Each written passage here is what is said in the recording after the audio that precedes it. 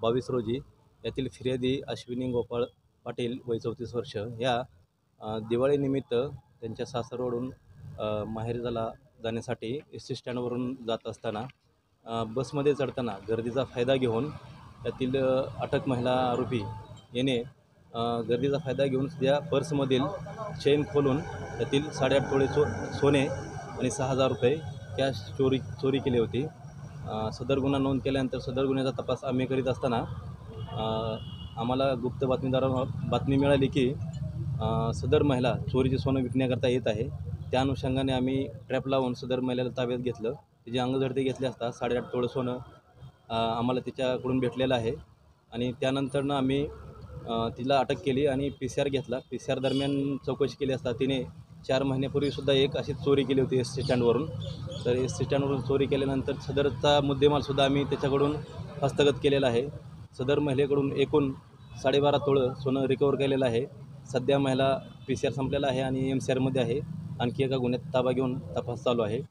सदर महिला ही सोलापूरमधील असून यापूर्वी तिचं अद्याप तरी रेकॉर्ड चेक केलं तर रेकॉर्ड आढळून आलेलं नाही. तर इतर गुन्हे काय केले आहेत का किंवा काय याचा तपास चालू आहे? ती चार महिन्यापूर्वी बसमध्ये चोरी केली म्हणलं तुम्ही. हां. तर फक्त बसमध्ये चोरी करण्याचे स्पेशलिस्ट आहे. हां या चार महिन्यापूर्वी पण तिने बसमध्ये चढत असतानाच एका महिलेच्या पर्समधूनच चोरी केलेली होती. आणि त्यातले सोनं गेलं होतं चार तोळ्याचं त्यांचं. ते सोनंसुद्धा आपण रिकवर केलेलं आहे. तर एकंदरीत असं दिसून येतं की सदर महिला ही फक्त बसमध्ये चढीत चढीत असताना लोकांच्या पर्समधून सोनं किंवा पैसा काय मिळेल ते चोरत आहे. आणि ती काय कशासाठी चोरते नेमकं त्याचं कारण काय चोरी करायचं? तर कुटुंबाची उपजीविका चालवण्यासाठी चोरी हां? सदर महिलेचं कौटुंबिक परिस्थिती हलाखीची आहे. तिला एकूण सहा मुलं आहेत.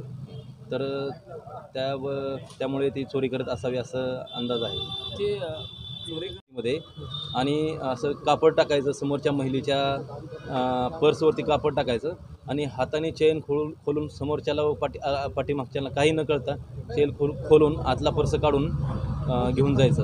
ही अशी तिची मोडस आहे. त्यामुळं असं पाठी पाठलाग करणे किंवा रेकी करणे असा काही प्रकार नाही. पण तिची तिची मोडसच तशी आहे. पर्स दिसेल ती जिथं हाताला लागेल ते घेत असते ती. अंदाज असा काही बांधत नाही की ह्याच्याकडे सोनं आहे किंवा काय. असं. गुन्हे